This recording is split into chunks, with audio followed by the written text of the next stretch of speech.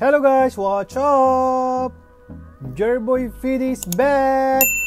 Welcome back to my channel guys and welcome back to Poznan, Poland! Good news guys, nakasurvive si Jerboy PD sa first dose of vaccine! Jerboy is alive and kicking! Kaya po dun sa mga nagdadalawang isip, uh, nagpapatumpik-tumpik, wag na kayong magpatumpik-tumpik pa. Magpa-inject na po kayo. Especially dun po sa mga tropa ko na nagdadalawang isip. Guys, wag na kayong magdalawang isip. Magpaturok na kayo habang libre pa. Kasi sa sitwasyon na natin ngayon, sa sitwasyon ng trabaho natin, o yan, dun sa mga katulad ko, mga katulad natin, ang trabaho ay lagi nang nasa labas, na iba-ibang tao ang ating kahalubilo, minuminuto, napaka-advisable nito sa atin guys. Huwag nyo na, huwag nyo na itong palampasin. Magpa-inject na kayo. Huwag nyo na palampasin ang pagkakataon. Kasi ino-offer na to sa atin libre. Alam niyo ba kung gaano to kamahal? Napakamahal nito. Sabi ng mga bugwit, napakamahal nitong gamot na to. Kaya i-grab na natin ang opportunity. Kung gusto niyo pong malaman kung ano po yung initial effect ng uh, vaccine, on the way home pa lang, so parang uh, medyo nadadry na yung aking laway. And parang may nararamdaman akong kakaiba sa aking uh, panga. Parang namamanhid na hindi ko maintindihan pero carry naman. And then pagdating ko ng bahay, I feel uh, weak. So, I feel nahihina. Hindi naman talagang mahinang mahina, kundi ramdam mo lang na hindi normal. And I feel medyo umiinit yung aking katawan. Kaya iniisip ko kung iinom na ba ako ng paracetamol or not kasi yun ang advice ng uh, doktor. So dahil dyan sa aking mga nararamdaman na yan sa aking uh, katawan, so natulog na lang ako. Tinulog ko na lang siya. Same sa maaga din yung pasok ko kinabukasan and uh, nakauwi kami ng bahay niyan or nakauwi ako around 9pm na. So sakto din kailangan na matulog. So yun, tinulog ko na lang siya, hindi ko na siya ininuman ng uh, paracetamol. And then, uh, ko naman ng umaga or ng madaling araw, so, okay naman na yung pakaramdam. Okay na yung katawan. Wala na yung parang uh, pamimigat. Although, yung pain mo dun sa balikat, dun sa spot kung saan ka tinurukan, so, 3 days ko yun na naramdaman. Kasi, alam nyo na, driver tayo. So, kailangan nating igalaw-galaw yung ating kamay. So, kaya nung uh, inassess ako ng doktor, so tinanong niya kung alin, kung right-handed ba ako or left-handed. So, yun pala yung rason kasi mararamdaman mo yung uh, ganong effect. So, yun. So, after a few days of uh, injection, I'm alive and kicking and back to vlogging. So yan guys, dahil sa maraming magagandang nangyayari sa buhay natin, so mag-church muna tayo. Busy tayo sa church, magpasalamat tayo sa mga biyaya na pinagkakalob sa atin ng Diyos. Pero bago yan, gusto ko munang makita ninyo tong part na to. Actually, malapit lang ito, malapit lang ito sa church. So, tumambay muna tayo dito mag-reflect tayo. Ano ba yung mga dapat nating uh, sabihin? Ano ba yung mga dapat nating ipagdasal para ready tayo sa pagharap kay Lord? 'Di ba? So yun guys, habang uh, nagkukwento ako sa inyo kanina, so nandun ako sa ibabaw ng tulay. Doon sa other side.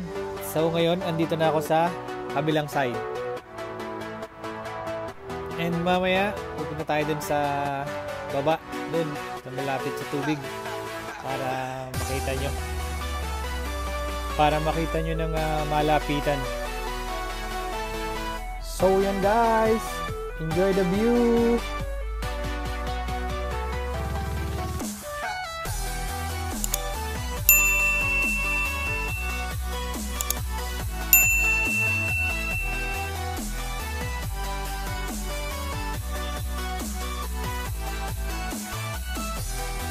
At eto na guys, nandito na tayo sa baba. Yun ang church, doon tayo magsa-church. And before I forget guys, ito nga palang lugar na to, uh, I think, I'm not sure, uh, I think mga 500 meters away dun sa Park Maltansky.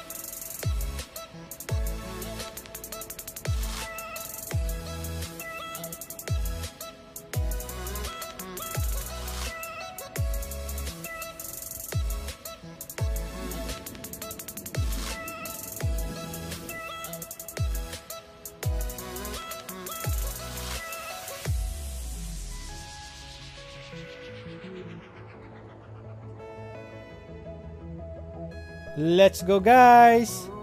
Punta na tayo sa church. Kumakaway-kaway na siya. Matagal na rin kasi akong hindi nakakapagsimba. Let's go!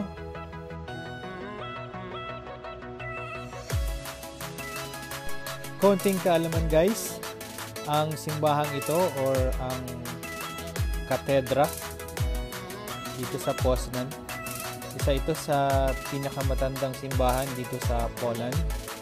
Umupo dito ang kauna-unahang obispo ng bansa at uh, dito rin nakalibing ang uh, kauna-unahang uh, ruler ng Poland na si Duke Mieszko I.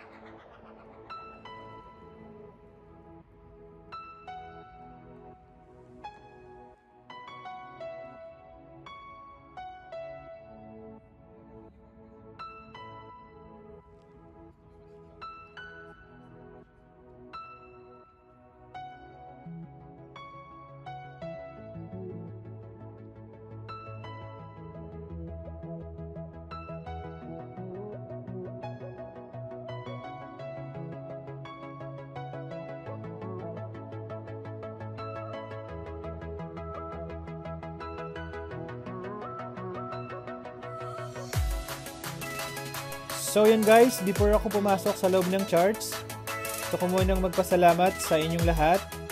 Salamat sa muli ninyong panonood, sa muli ninyong pagbisita sa aking tahanan. Sana nagustuhan ninyo ang aking uh, munting palabas. So, doon po sa mga bago, bago pa lang po sa aking channel. So, please subscribe to my channel and press the notification bell para updated po kayo sa susunod kong mga videos. And feel free to write down your comments below. So yon, bye for now guys. Be safe everyone. See you in my next video guys. Bye bye.